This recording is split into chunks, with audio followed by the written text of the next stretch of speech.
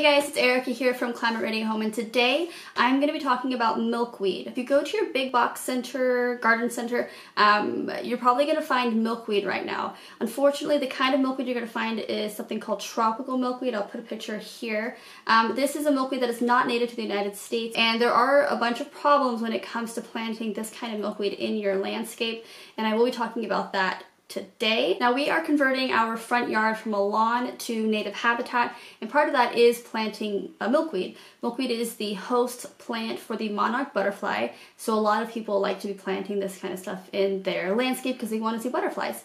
Um, I am trying to do full native landscape and I'll put a, a few clips here of uh, what we're working with right now.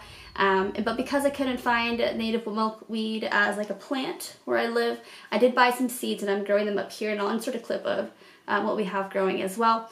Here, uh, the native milkweed is narrow leaf milkweed. And I think another one we're going to use is showy milkweed. I forget. I'll put the name here.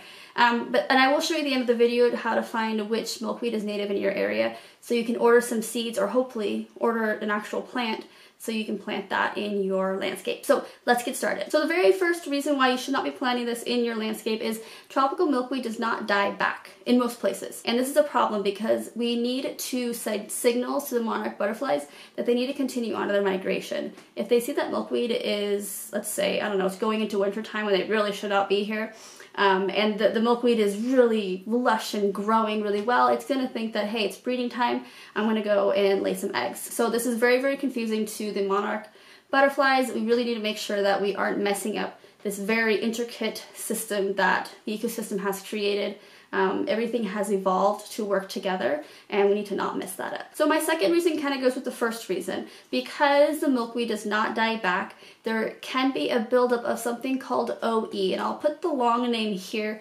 OE is a protozoan parasite um, that is carried from the butterfly and can be transferred onto the leaves. And what this does is it infects the caterpillars which then turn into butterflies and it makes their wings deformed, they have a lower body mass, it affects their, their lifespan, their mating success, and their flight ability. So this is a really big problem for butterflies. Now, because the the tropical milkweed does not die back, there can be a buildup of this OE on the on the leaves, um, and so then you can have essentially um, a poisonous plant. So it's a huge problem. Now with the native milkweed, like for example the narrow leaf milkweed, um, it does die back in the winter. So every spring, every spring I believe when it comes back, uh, it comes back with fresh leaves. Um, so we don't have any OE on those leaves because it's they're brand new. So that is the second reason you don't want to be planting tropical uh, milkweed in your landscape. Now the third reason is because tropical milkweed is not native to your area, um, it's going to take more resources to keep it alive. So my front yard native landscape, I do not have to water or fertilize or mess with it because all of the plants are native to right here. Um, so it can take care of itself. It's, it's evolved to deal with the climate. Um, it's evolved to deal with the amount of water that comes from the sky.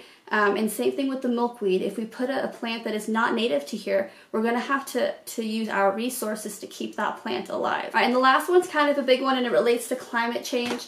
Um, tropical milkweed, for some reason, when it is exposed to high temperatures, it creates a toxin. And now this toxin is present in all milkweeds and it's actually beneficial to the butterfly. Um, but in high concentrations, it's toxic and it can kill the butterfly. So this is really important to think of as, as we're um, kind of feeling the effects of climate change and our we're going to start having those days where the temperature is going to be rising.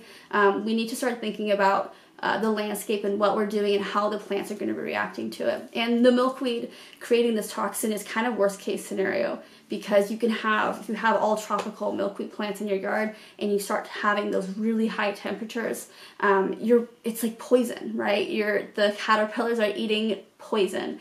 Um, so this is definitely something you do not want in your yard, especially as we start going into the higher temperatures of summer right now. I am dying in this room. And I don't know how high a temperature. Let me look that up real quick. Cardenolide. Here we go. Okay, so I can't really find how high the temperature needs to get until the milkweed plant creates this toxin, but the toxin is um, cardenolide. Cardinalide. I'll put that right here as well. So scientists have found that the native milkweed does not have this increased concentration of cardenolide. Um, it only happens, my understanding, to the tropical milkweed. So when we have tropical milkweed that is from a different place, not from the United States. We bring it here, put it into our landscape, it it's going to be reacting to our climate differently. And as our time our climate starts to get warmer, it's going to be creating this toxin um, and um, can can really do some damage in the monarch population. Now, in terms of preparing for climate change, um, I believe that we should be preparing our homes to deal with the effects. So here we have wildfires. I believe that we all should be um, trying to prepare our homes for wildfires. Um, but not only that, I also think we should be preparing our landscape for climate change as well. It's not just us who are going to be feeling the change, it's also the, the, the wildlife.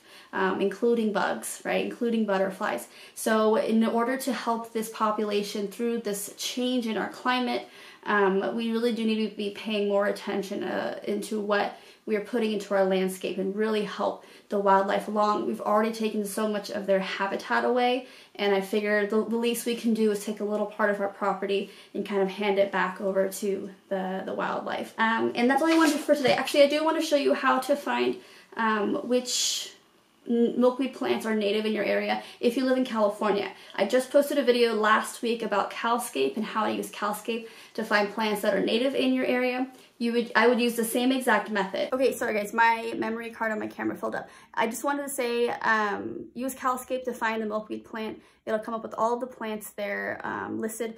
And if you can't find the plant itself, there are places where you can find the seeds. Um, the Theodore Payne Foundation has a really good selection. Etsy has a really great selection as well. So I hope that helped you guys and I think that's all I have to say for today. Thanks so much. I'll see you next time. Bye.